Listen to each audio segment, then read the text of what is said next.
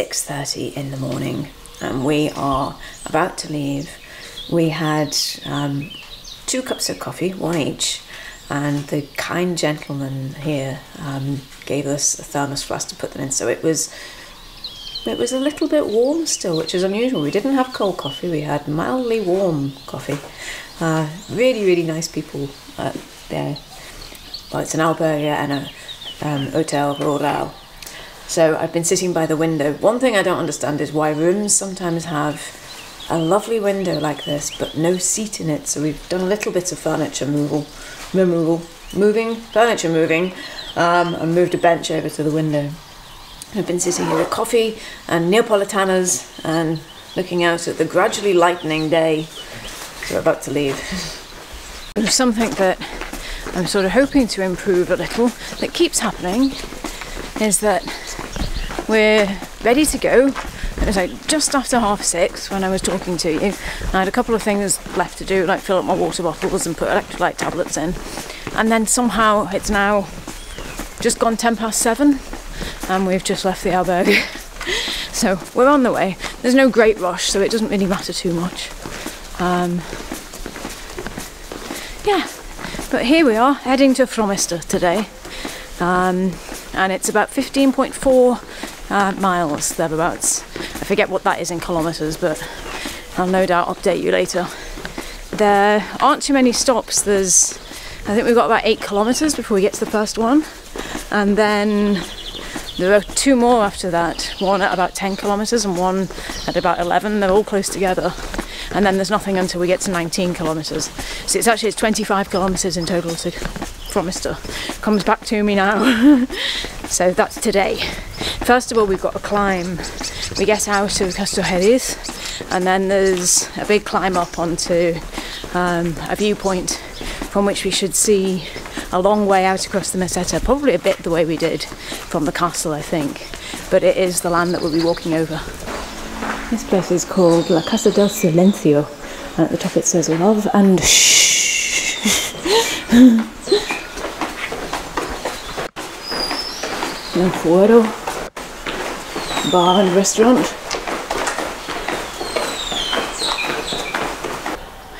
Food shop, Alimentacion Nieves, snooze. so somehow this is the Plaza Mayor, and somehow yesterday we managed to not find it, not see it at all. I imagine that, well, there's obviously a restaurant there.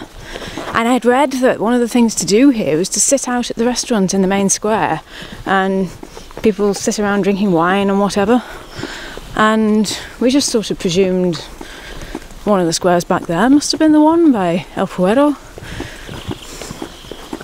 I think because when we came down from the castle, we were a bit low on time in order to get back and have a bit of a rest and have showers and so on. So kind of did a bit of a loop around. It wasn't too important to find this, but it's nice to see it now.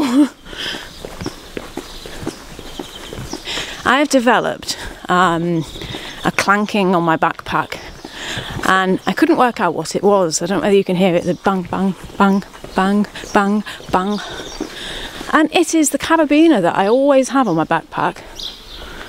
Just today it's decided to make a noise every time I take a step. I haven't changed anything. It's one of those days. I told Andrew and his response was, You're like a curious little elf or a sprite. So I don't know what I think about that because I'm a serious person.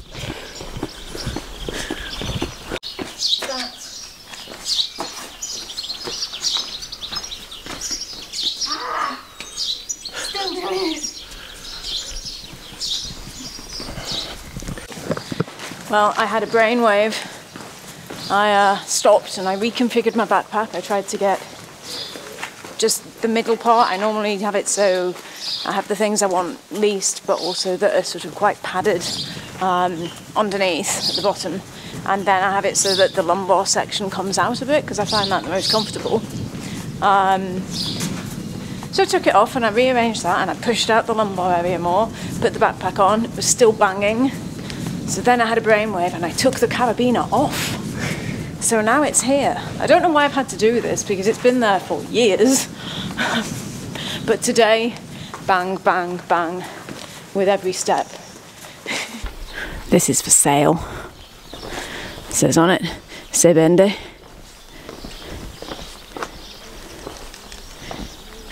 It's got a good view up to the castle behind it there. Look. Well, there's another one that's for sale. and the drinking fountain on the way out of the town. And a nice trough there as well. Mm. If you ever hear a strange zipping sound in these videos, it's because Andrew is unzipping his hip pack as well to take photographs. It's a new Cotopaxi hip pack that he's got, and it's got a very loud zip on it. Every so often, I stop filming and we hear zip, and that's what it is. So.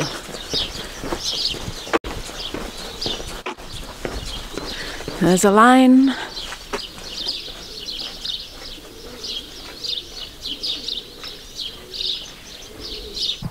So that wiggly route there is leading us to the mountain pass of Mostelares and it's 142 meters of climb and it's over two kilometers.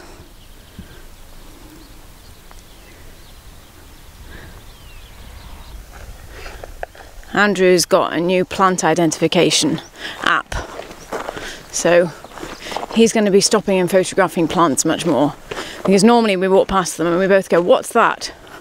And we don't know. And we take a photo and we try to look it up later. and we know some. You know, poppies. I know there was one yesterday that we used this app for when we were trying it out because I had a photograph, and that was pheasant's eye. It's a small type of poppy. It does actually look like a pheasant's eye too. I thought it was a very good name for it.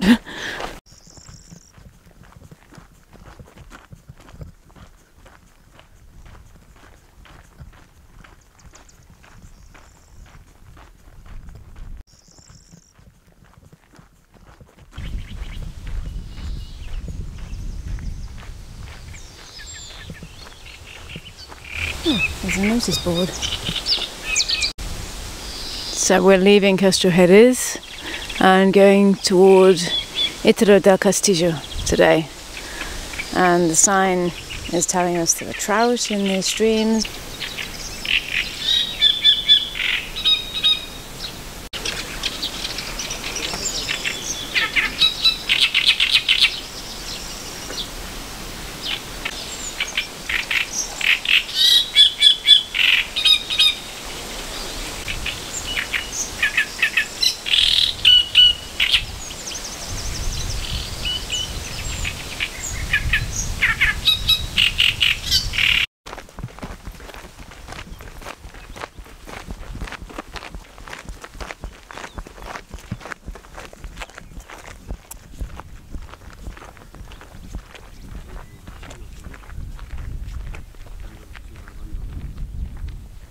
This one's a bit of a climb.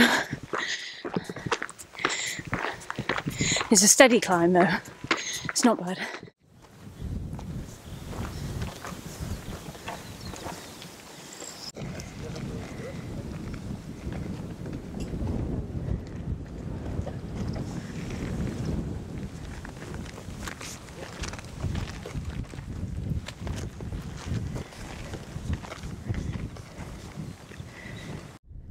I was talking to a gentleman on the way up, a man with a camera.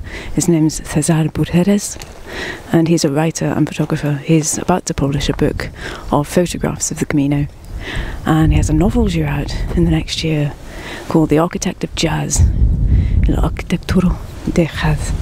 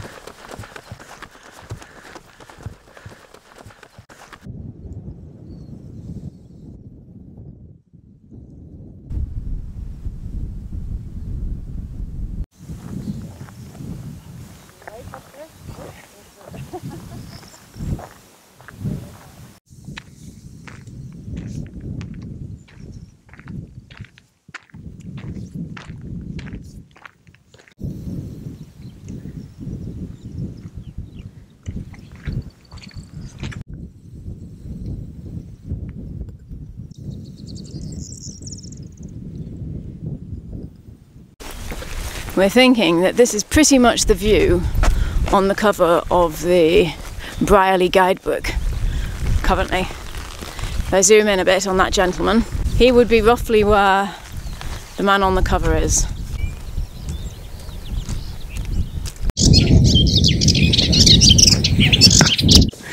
Well, there was a little coffee stop just where those trees are around there, and quite a few people have stopped there. But we're quite keen to get a little bit more ground covered, and there are a couple of villages by the look coming up soon. Looking at the map.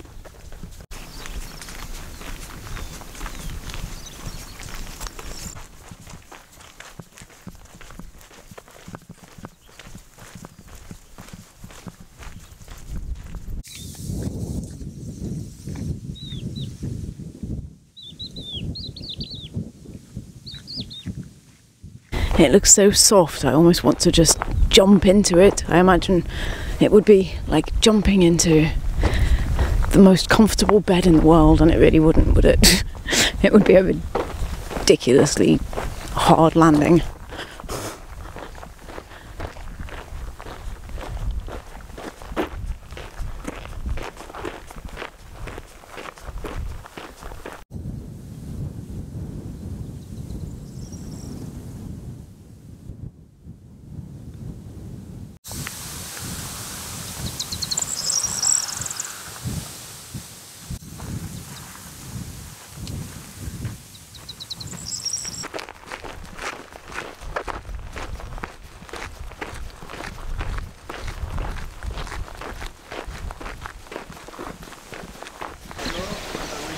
San Nicolas de Puentefitero. I have an idea that this is the place that washes people's feet. I might be wrong, but it rings a bell. They've got cushions here for people to lie on.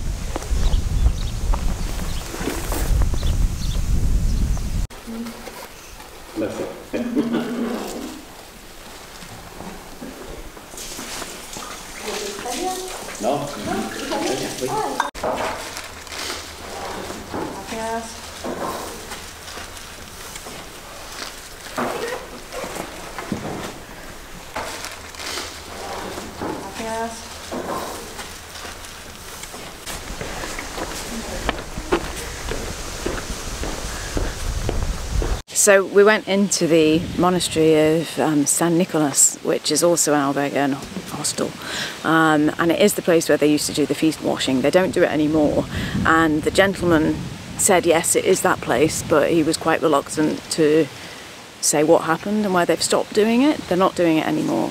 Um, and I didn't want to push that, but they were really, it was really nice. They um, offered coffee, so I had a little cup of very nice coffee, and it's a nice tranquil place. But don't expect to have your feet washed. I didn't actually want to have my feet washed. I was just curious about the tradition of it and the history of it. And just down the road from, or down the way, I should say, from the monastery of San Nicolas is this lovely bridge. It's the Ponte Fitero. it's worth coming off the Camino just a short way so that you can see the bridge properly because actually the way leads straight over it. it's actually called the Puente de Itero del Castillo. Um, it dates from the time of Alfonso VI, 1072 to 1109.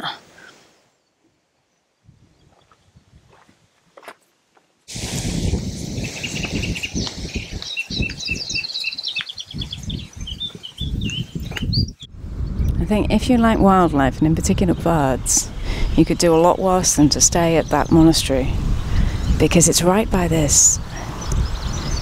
And there are a lot of, you can hear all sorts of bird songs here.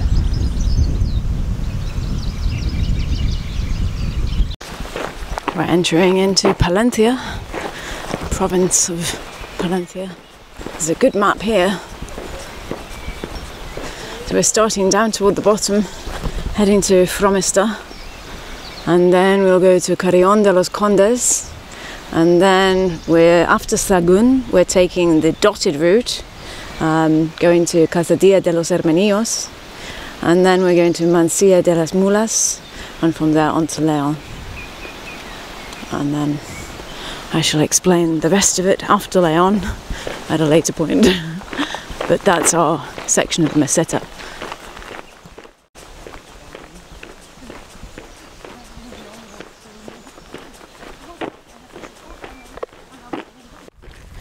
Entering into Itero de la Vega.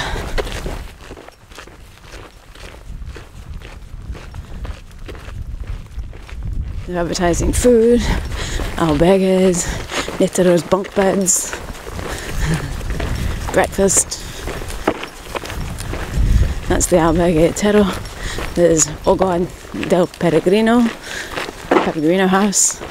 They've got individual rooms, habitaciones dobles, so single bedrooms and double bedrooms.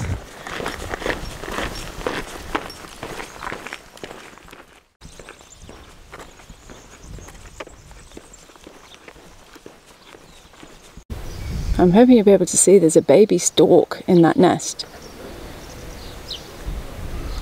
There's the adult which is standing up, and next to it there's a little baby. A storklet. I don't know the name for fledgling. It's not quite a fledgling, though, I don't think. And there's another stork lower down on the roof below it. Oh, there are two nests.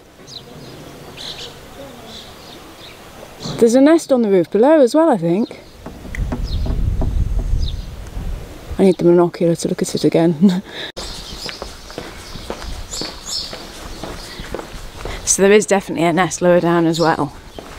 We're trying to find a cafe, um, and there was a sign for one in this direction, so maybe uh, we'll be able to get a good view of the storks. Oh, there's a stork right up there actually watching us, probably keeping an eye on us, making sure we don't do anything too hazardous to it.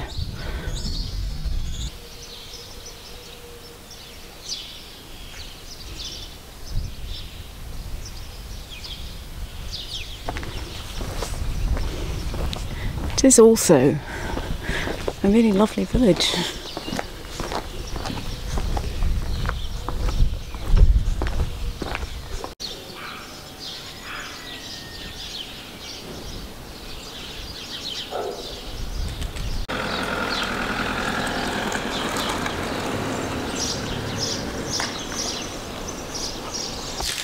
Right, well, we're thinking we'll go in here, La Mochila.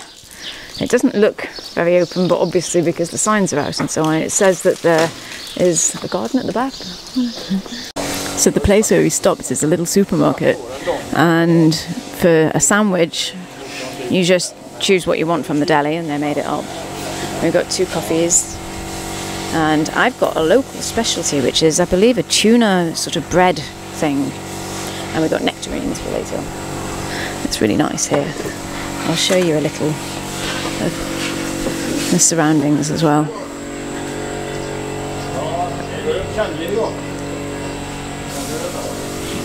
There's an albergue here.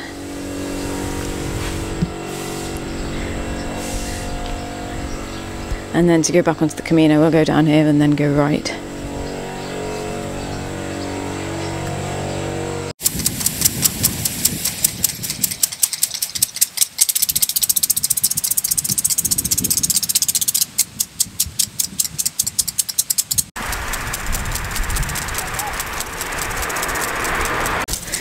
Leaving Itero de la Vega.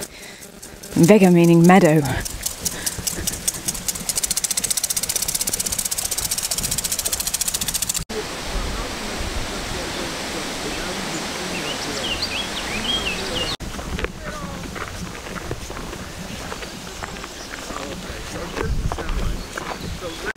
Well, it's bright now, so I've got the cap and I've also got the sunglasses out Partly because the, the way ahead, the path, is really light coloured um, stones. So I've been screwing my face up and decided that's it, the sunglasses are coming out. The downside to them is because they're polarising sunglasses. When I try to look at my phone to check the route or for anything else, or even to take photos, I can't see the screen too clearly because it turns it into a sort of rainbow effect. Um, yeah.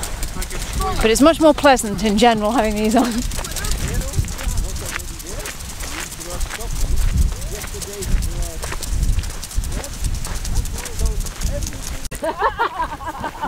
he's crazy, he's crazy. Ay, ay, ay. Yes, ay, ay, ay, ay, ay, ay. When he, I already told you, when he takes the shower, he can just close the door, eh? he's there washing it. and then, of course not when it's mixed, but when it's man only, then he comes out the shower and... Uh. It's the picture this app. He's collecting photos of flowers still.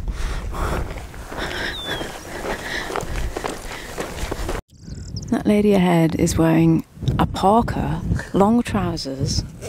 She's got a big backpack, which is sort of not really with a hip belt, and a hat. Compare that with. Here we are. the fleeces have come off.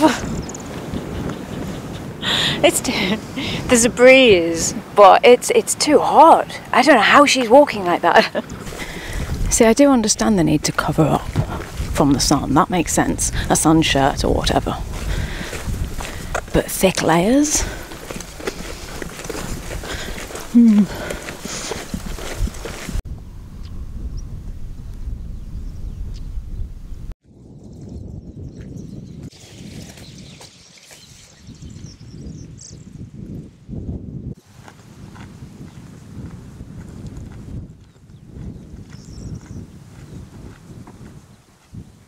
So today I think we're having some thoughts about time. it's one of the things about the Camino that at different points thoughts go through your mind, obviously because you're walking a long way.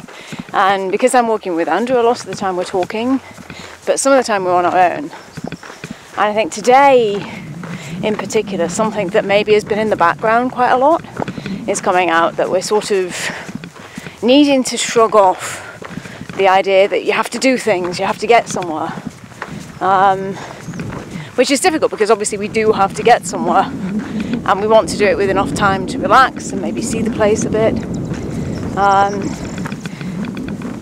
and we're both sort of we're in agreement about it. We're not um, disagreeing with one another.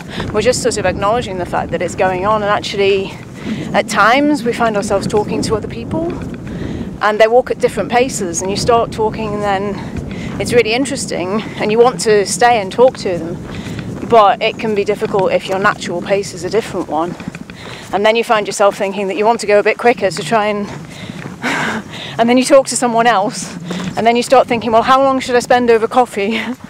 Um, and i think we're both just wanting to somehow get rid of that and and yet still have time when we get there to really rest. One of the things we've noticed compared with last time is we seem to have time to just shower, read for a bit, write if we wanted, as well as doing other things. And this time I felt okay with that really. I maybe haven't felt fully that I'm here yet in a weird way. Um, I'm having to sort of stop and think, hang on, I guess, what was that? Where were we then? Um, so yeah. That seems to be a bit of a theme for the day, and maybe it's particularly because we got out a little later than we'd intended.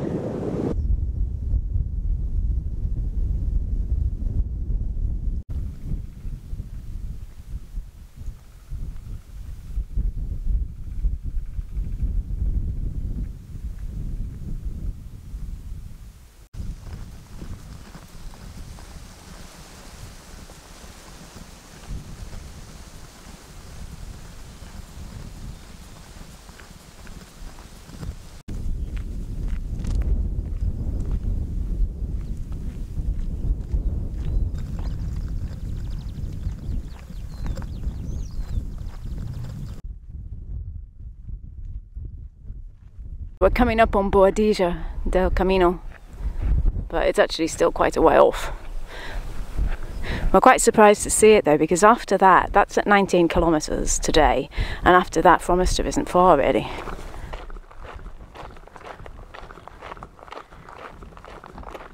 Now, problem is, we walk quickly, we pass people, but then we stop. it's either because we're looking at birds or taking photos, or now Andrew's identifying plants in his app. But that's all part of it, isn't it?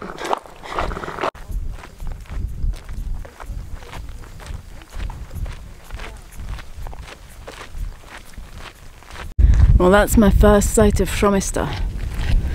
It's way off in the distance at the moment. There's Andrew whizzing past me.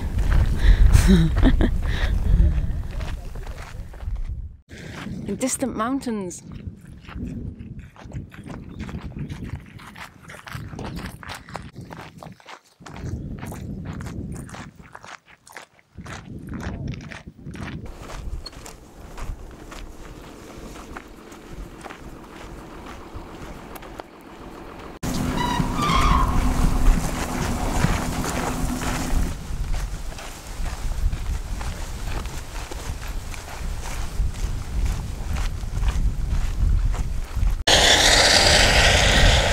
So they're actually mowing down the poppies because they are a crop.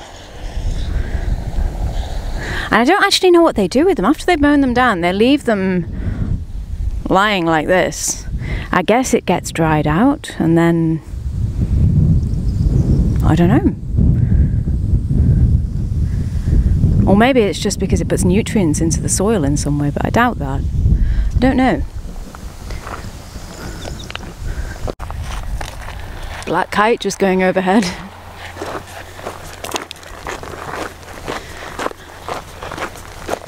For a little while, there's no one ahead, except for Andrew. In a little while.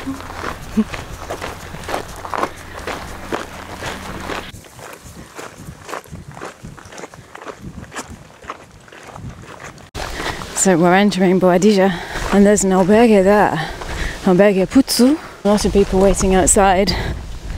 So we passed a sign back there saying, I think it said Juntos, best pancakes on the Camino. So I imagine if you're staying here, you're in for a treat.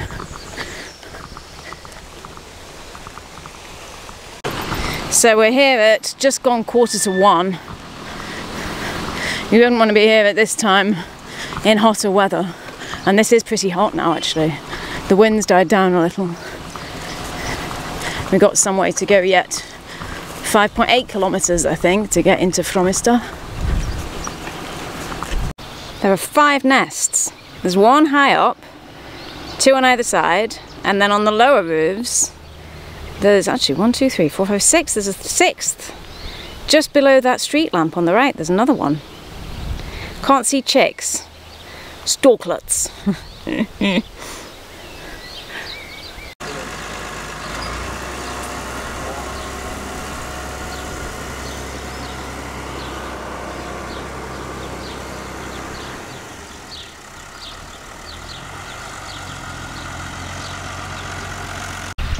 I think that stork's nest at the very top is pretty impressive. It seems to be raised up on something. I know, on what? I don't know.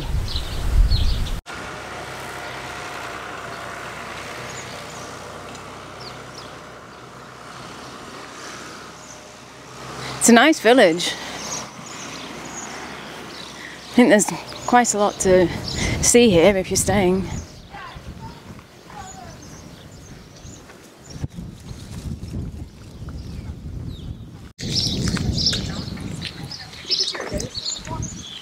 Yeah, I don't know that was the not.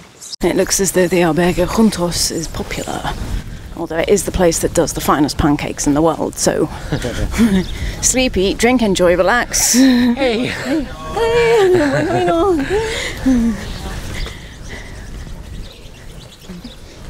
Ven, camino. I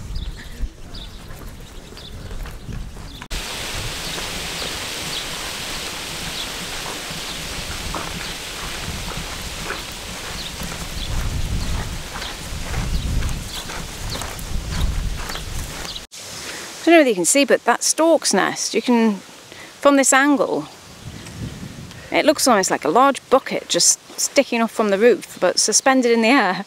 I think it's been built around a sort of chimney or something.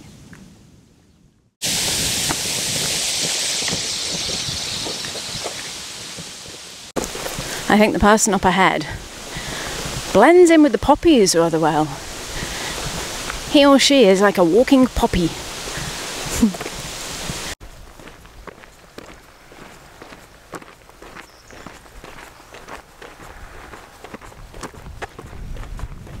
what do you think we're about to see?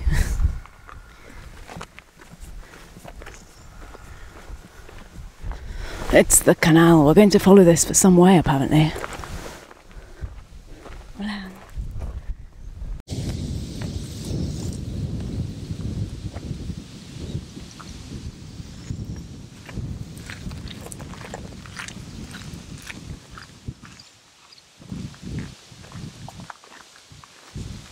You can do the Camino on a boat.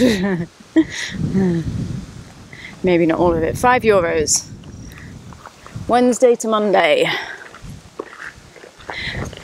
I was reading a little about the construction of this in the um, mostly in the 19th century. Um, and that initially it was a sort of dream to be able to link this hinterland with the coast, um, linking up the plains with the sea.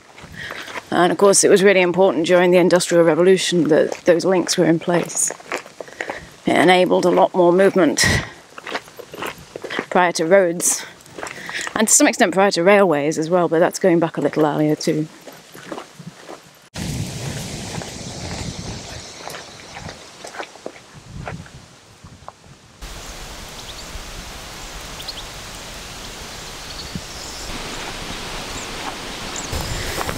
Almost as though the shape of the bulrushes, well, the shape of the bulrushes does echo the shape of the trees, poplars. And everything's bending. I guess it's westward. the way we're going.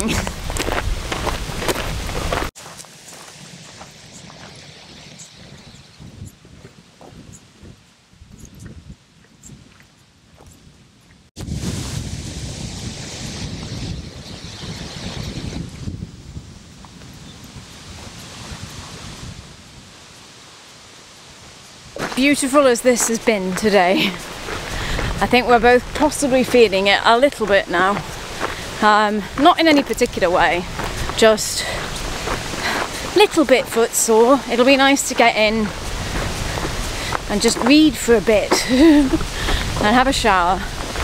It's felt quite a long day, I think, ultimately, this last section. Don't know about you, Andrew. Mm -hmm. Yeah. But I mean, this this part by the canal, I'm surprised there aren't more birds on the canal. That's one thing. That by the canals, certainly there's a canal near where we live in the UK, um, and there are a lot of moorhens and ducks and swans.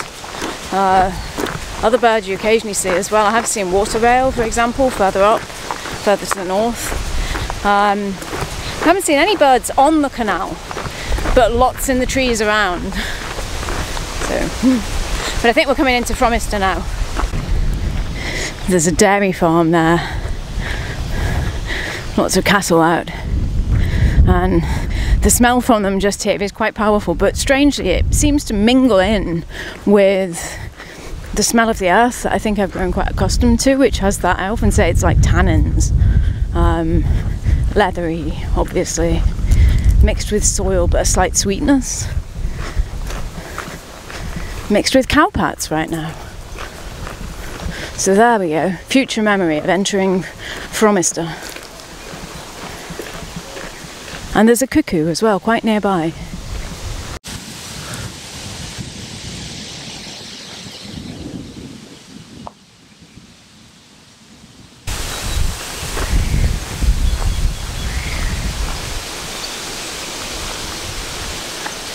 It can be easy to reach a point at which, when you see a church and you're nearly at your destination, you presume that that's basically the outskirts of the destination. Sometimes, no, you've got another half kilometre yet. Lots of seeds in the air again. I'm coming through a lock here.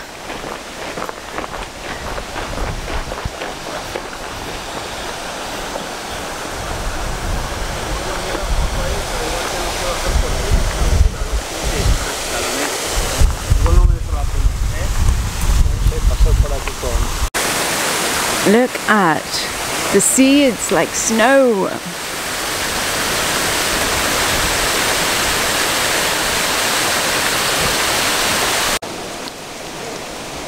Hmm.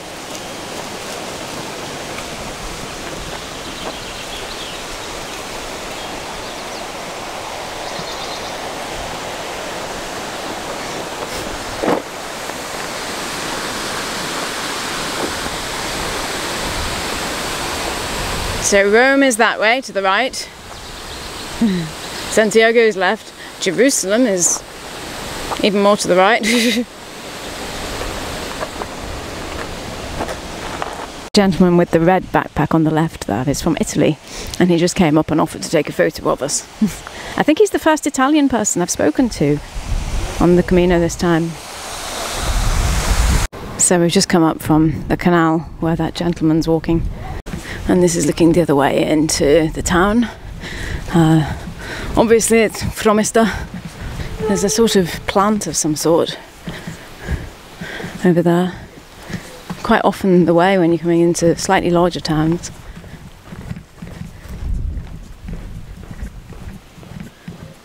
They don't look too historical at first. And I can already see a church tower with some stork's nests on the top of it, so that'll be a delay.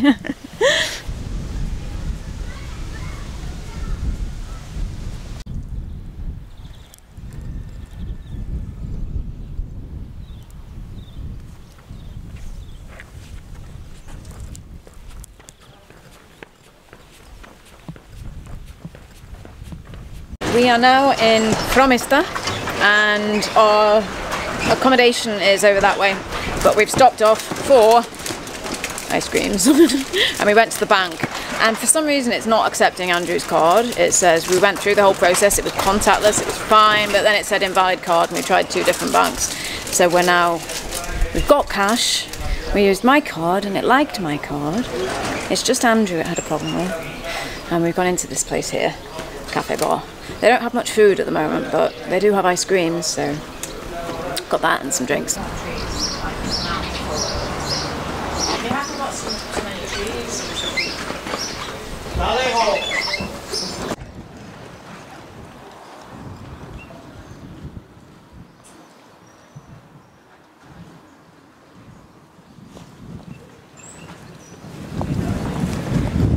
Oh, lost my hat.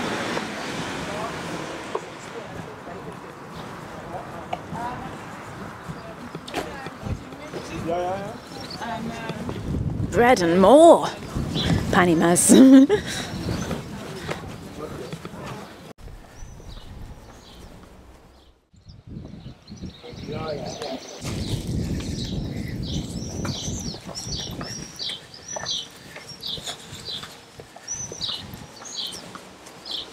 well, this is where we're staying, the Hotel San Pedro, Hotel Rural.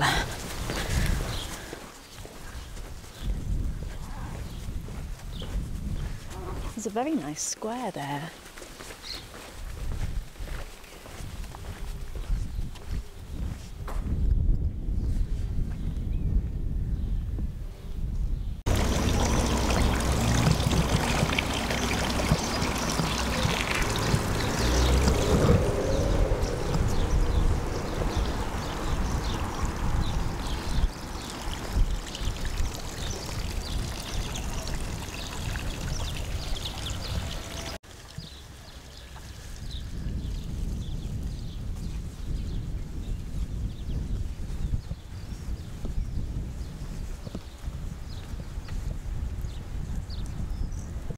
So this is our room at the Hotel San Pedro, and it's one of the larger rooms, I think. But the nice thing about it is we have this area out here.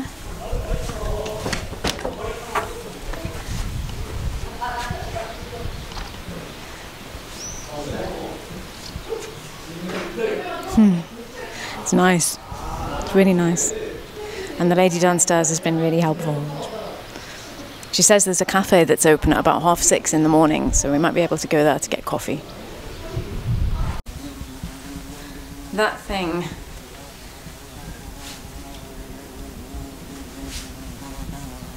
That thing when a scabbard beetle flies into your room and you don't really know how to get it out except hope. Open.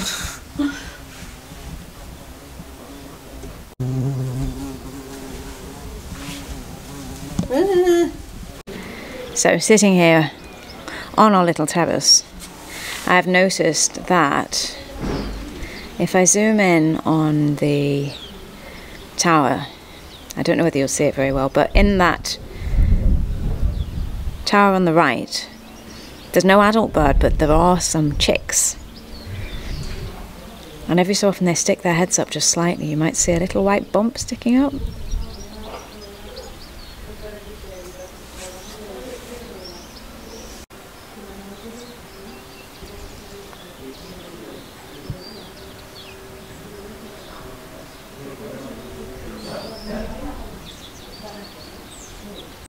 So we've just been into the pharmacy because of my hip being very red and having problems where I put the Compeed on. And we went from one plaster to cover it to another adhesive plaster to another adhesive plaster. And none of them were quite big enough or they were big but they weren't waterproof or there were various issues. So I've got some cream now and more um, adhesive plasters to cover it. And they've suggested I try to take the Compeed off um, and I've also got some hand cream because I've got dry hands. So really, really helpful, back and forth, back and forth until they got just the right thing. We kept looking at the size, no bigger, bigger, and then with the hand, hand um, cream, I wanted smaller, smaller. so we got there now. So we couldn't find anywhere to eat in Fromista. And a local recommended this place where they do pizzas. It's called Garigolo. I've got the carbonara, and we're going to share both actually. That one's a vegetable one, but they look really well made. They're homemade, I think. Look at that base. Yes, it's nice.